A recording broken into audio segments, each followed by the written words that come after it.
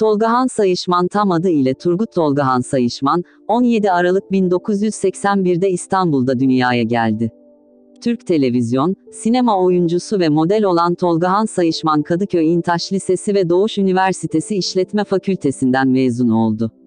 2005 yılında Türkiye'yi temsilen Güney Kore'de gerçekleşen uluslararası erkek güzellik yarışması, Menant International'da dünya birincisi seçildi. Ekol Drama ve Aile Algan'dan uzun süre oyunculuk eğitimi aldı. Fahriye Evcen'le paylaştığı Aşk Tutulması adlı sinema filminde oynadı. İzlenme rekorları kıran Elveda Rumeli adlı dizide Mustafa rolünü canlandırdı. 6 Kasım 2009'da vizyona giren Aşk Geliyorum Demez adlı filmde Bergüzar Korel ile başrol oynadı. Kavak Yerleri isimli gençlik dizisinde konuk oyuncu olarak yer aldı.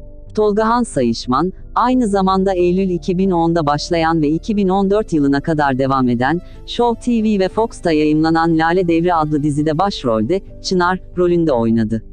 2014'te vizyona giren ve başrollerini Saadet Işıl Aksoy'la paylaştığı Sürgün adlı filminde rol aldı. 12 Şubat 2015'te Show TV'de başlayan ve Ekim 2016'da final yapan Asla Vazgeçmem adlı dizide Yiğit Kozan karakterini canlandırarak başrolü Amine Gülşe ile paylaştı.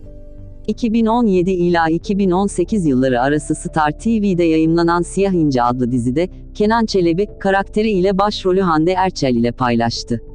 Anne tarafından Trabzonlu, baba tarafından ise Selanik ve Arnavutluk kökenlidir.